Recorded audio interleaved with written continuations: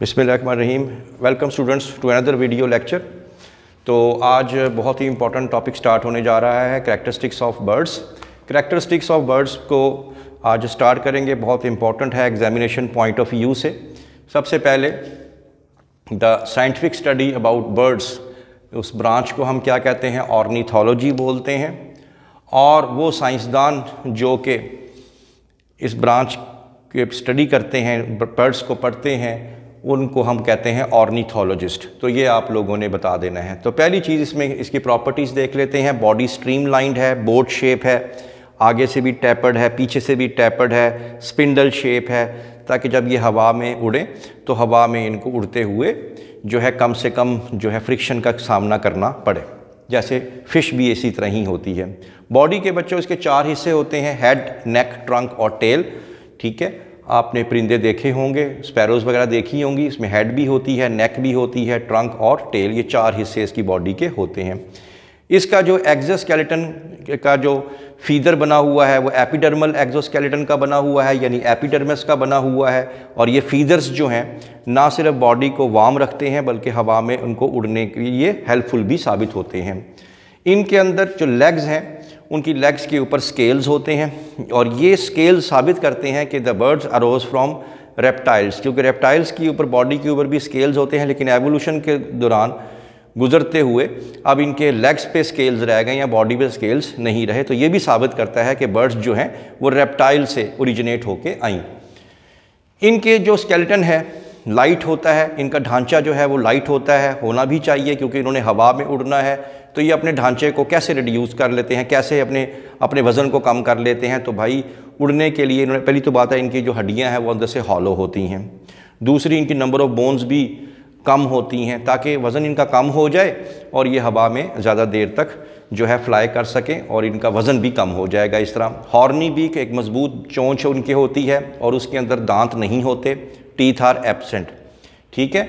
ये आपने बताना है। स्कल जो है, खोपड़ी जो है, उसमें लार्ज सॉकेट्स या ऑर्बिट्स होते हैं। यहाँ पे आई प्लेसमेंट उसकी आइज़ के लीगामेंट्स वगैरह मसल्स वगैरह मौजूद होते हैं, जो जिसकी वजह से उसको हम लोग कहते हैं सॉकेट्स बहुत इंपॉर्टेंट एमसीक्यू आ गया जी।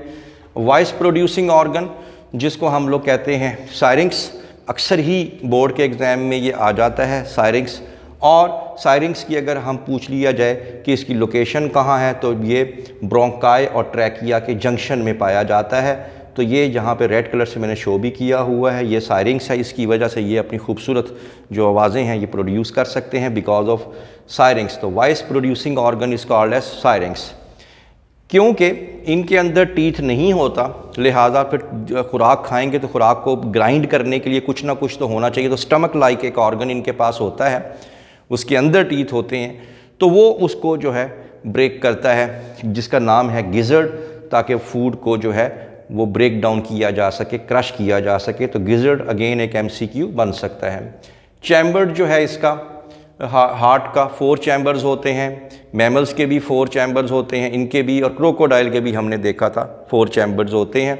बस सिर्फ़ रेप्टाइल्स में यह था कि उनमें जो वर्ड वेंट्रिकल होते हैं, वो इनकम्प्लीटली पार्टीशनड होते हैं। लेकिन हैं इसमें चार बर्ड्स में भी चार हैं मैमल्स में भी चार हैं। लेकिन एक बात जो है बाकी से जो डिफ्रेंशिएट करती है कि जैसे ही एयोटा बाहर निकलती है हार्ट से, वो कर्व खा जाती है राइट साइड पे बर्ड्स के अंदर। जबकि मैमल्स में वो कर्व खाएगी लेफ़्ट साइड के अंदर। तो आप लोगों ने ये बात इसमें बता देनी है। अगर आप कभी भूल जाएँ तो आप इस तरह याद रख लें कि जो बर्ड्स हैं, वो बहुत ही मासूम होती हैं, बहुत ही सच्ची होती हैं, कभी झूठ नहीं बोलती, लिहाजा उनकी एओटा या उनकी सिस्टीमिक आर्च जो है वो हमेशा राइट साइड पे जो है वो टर्न करती है। इंसान जो है, उनमें से ज़्यादातर लोग, सारे तो नहीं कह सकते, ज़्यादातर लोग, कुछ लोग ऐसे भी होते हैं जो झूठ बोलते हैं फ्रॉड करते हैं, लेकिन बर्ड्स तो कभी फ्रॉड नहीं करती, कभी झूठ नहीं बोलती। इसी वजह से मैमल्स का जो जो आर्च है जो एटा है, वो लेफ़्ट साइड पे, वो टर्न लेता है। यूँ याद कर लीजिएगा इसको। लंग्स जो है, मौजूद होते हैं रेस्पायरेशन के लिए, होने भी चाहिए। और लंग्स के अंदर एयर स्पेसिस होती हैं। एयर स्पेसिस इसलिए ताकि ज़्यादा से ज़्यादा ऑक्सीजन को इनटेक किया जा सके। और इनके अंदर एल्व्यूलाई की जगह पे पैराब्रोंकाए होते हैं, जो दोनों तरफ़ से ओपन होते हैं। आप रेस्पायरेशन वाले चैप्टर में पढ़ चुके हैं। और इसी वजह से इसके अंदर कभी भी स्टेल हवा कभी भी पुरानी हवा अंदर नहीं रह पाती और ये हमेशा ये फ्रेश हवा लेते रहते हैं और साथ साथ पुरानी हवा को बाहर निकालते रहते हैं। पैराब्रोंकाई अगेन एक एम बन सकता है। एक्सक्रीटरी सिस्टम में आपने बताना है कि इनके अंदर वैसे तो ये यूरिक एसिड प्रोड्यूस करते हैं, इनमें ब्लैडर नहीं होता और इनका जो यूरिन होता है, वो सेमी सॉलिड होता है। ये आप लोगों ने बता देना है। सेक्सेस जो हैं, वो इसमें सेपरेट होते हैं। मेल लदा होंगे फ़ीमेल जो हैं, वो लदा होंगी। फर्टिलाइजेशन इंटरनल होती है, क्योंकि जैसे जैसे जानवर जो हैं पानी से खुशकी की तरफ़ एवोल्यूशन में जाते रहे तो फर्टिलाइजेशन जो है वो इंटरनल होती रही। एग के अंदर यॉक होती है, होनी भी चाहिए, ताकि वो स्टोर्ड फ़ूड उसको एम्ब्रियो को वो दे सकें।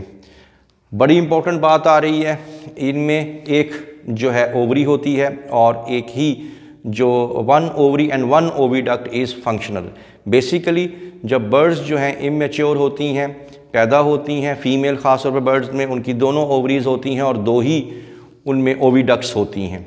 लेकिन वक्त गुजरने के साथ साथ जो लेफ़्ट ओवरी है और लेफ़्ट ओवीडक्ट है, वो फंक्शनल हो जाती है, जबकि राइट ओवरी और राइट जो ओवीडक्ट है, वो रिग्रेशन का शिकार हो जाती है, वो कम पड़ जाती है, वो मांद पड़ जाती है, लिहाजा वो फंक्शनल नहीं रहती। तो लेफ़्ट जो है, वो काम कर रही होती है, उसी में ही एग प्रोड्यूस हो रहा होता है राइट जो है, वो रिग्रेशन का शिकार हो जाती है। होती दो हैं, लेकिन एक फंक्शनल होती है।